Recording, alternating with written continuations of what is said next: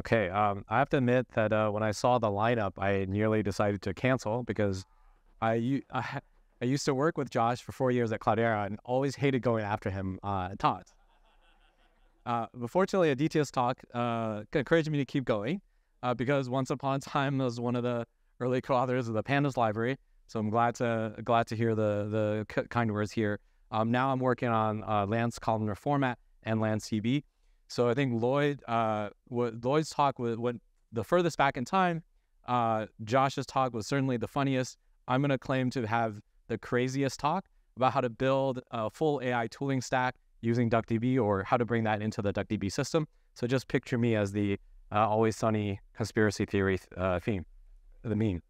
So the problem that I've seen with ML uh, and ML ops and AI is that, you know, it's not just that your data is not rectangular, but the uh, data is really irregular. So you have annotations and labels and bounding boxes, and you have lots of deeply nested data.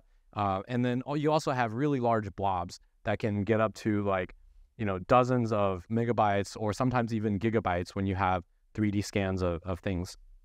And so uh, what ends up happening in data lakes for AI heavy shops is you have your truth of uh, single source of truth format that might be Parquet or something, but then you have another copy of that data that stores like TF records for training. And then you have yet another copy for debugging or evals or, or some other thing.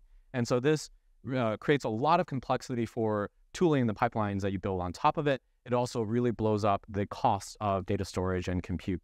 So that's all the, we try to solve with Lance columnar format, which we're working on uh, at LanceDB team. So it's a high performance new columnar format uh, optimized for AI. It's designed to unify stor- storage across embeddings, text, metadata, tabular data, images, uh, everything that you can think of. Uh, out of the box, it's compatible with our favorite tools like DuckDB and Pandas, Polars, PyTorch, and more.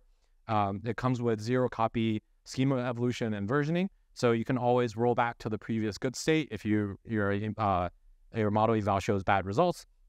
And um, because of the optimizations we've done in the data format, we can achieve several orders of magnitude faster performance than Parquet in terms of uh, random access and just reduce overall training time by at, at least two to three x uh, for with faster shuffling, with faster filtering, and just faster data loading.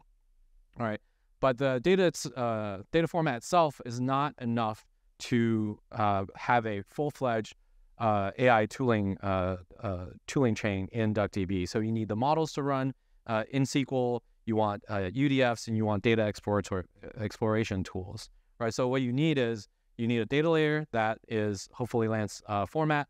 Then you need DuckDB extensions for PyTorch uh, or TensorFlow, and you need scanners for specialized data, like uh, if you use FFmpeg or OpenCV to build a frame scanner for videos, and then you can add UDFs on top of that to do image transformations like crops and rotation. Of course, all of those you can plug in with uh, CUDA integration.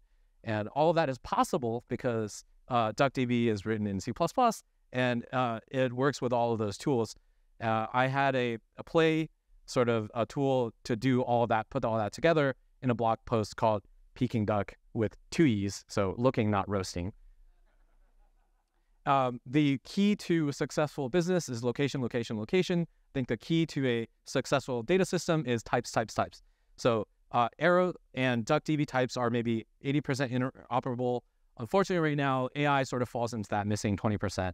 Those uh, comes in sort of three buckets. One is uh, nested types for like uh, annotations, bounding boxes, labels, and then um, extension types for images, uh, embeddings, videos, point clouds, and things like that. And then there are some ML specific types like BF16, but those should be fairly easy to add. And the the the problems are going to be sort of how to make sure that all of these different layers agree with each other and can talk to each other.